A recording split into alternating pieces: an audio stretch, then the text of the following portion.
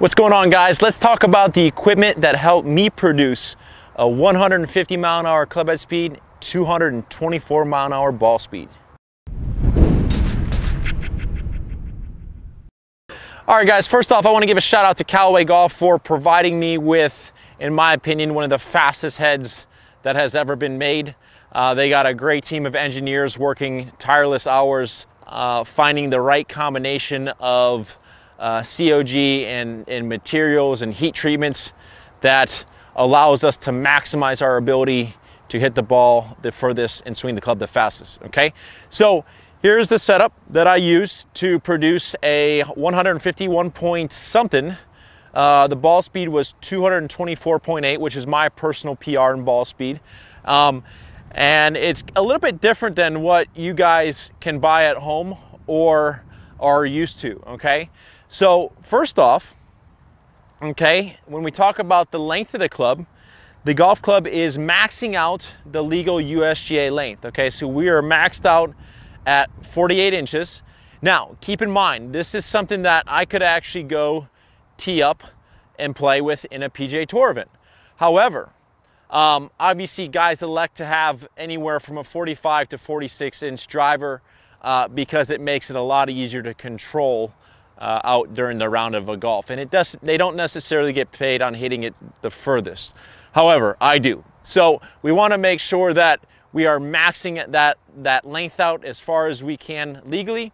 Um, now, to start with the head, we are actually hitting, and I'm hitting the new version of the Callaway long drive head, which is the 2020 model of the Epic. Okay, so you can kind of see it has some uh, orange graphics on it. Um, this head is a five degree head that gives me the ability to turn it up to six degrees or down to three degrees. So naturally, I am playing with it on the minus two setting and that gets me down to a loft of three degrees.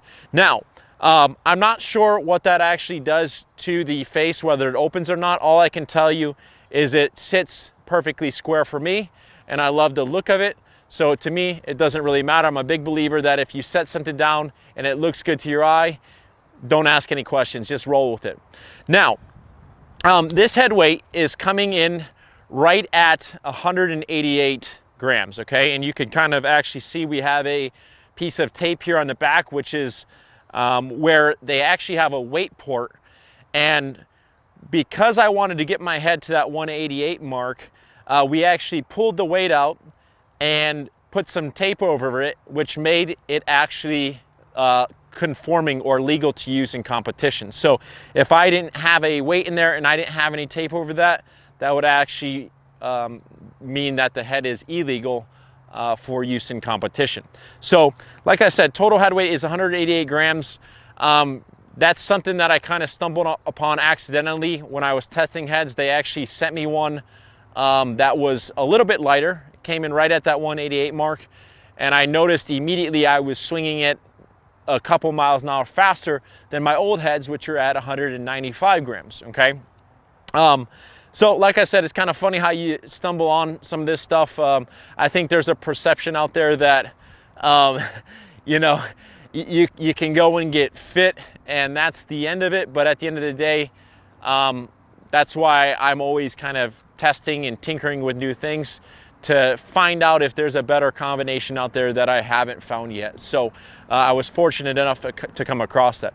Now, uh, the shaft, and this is the actual shaft. Uh, shout out to um, Patterson uh, for hooking me up with this. This is the uh, LD30, which is a long drive shaft. Okay, and I actually have a uh, version of it, which is the LD50 as well. Um, I believe it comes out to actually uh, a stiff flex shaft. So um, the big misperception is that we're using uh, quadruple X shafts to where these things are boards, um, which is true for some guys, but some guys have also found it to be more beneficial to hit something a little bit weaker.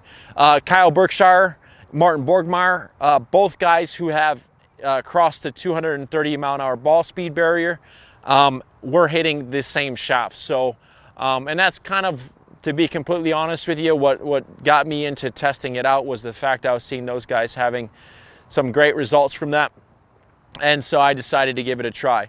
Um, being that it's a little bit whippier, it is a little bit harder to control, but after you, you get enough reps in, um, you can start to kind of figure out how to, uh, you know, time it up and sequence it up. Um, but if I was going into competition, I would probably have a version of the LD30 and a version of something a little bit stiffer, uh, probably the LD70, uh, which is going to come in at like a double or triple X. And it's just basically situational. I would probably use that more uh, for two options. One, if I was into a straight headwind, uh, it might just give me a little bit more sense of control.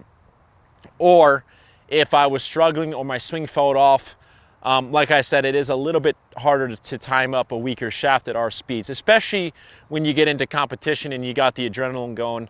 Um, shaft, you, you, what I've found since I started doing long drive is shafts that feel good in practice uh, might feel a little bit whippy in competition. So that's why it's nice to um, have some options up there and you start to kind of tailor yourself into um, what your practice clubs are and what your competition shafts are. All right guys, so the last part of this club and this makeup is the grip, okay? So what you'll see here is I actually have a 25 gram Golf Pride uh, Tour 25 on there, and this is tapered, so it's not parallel like you guys are used to seeing me use, uh, you know, the, the, the plus four jumbos on my irons and my normal golf clubs.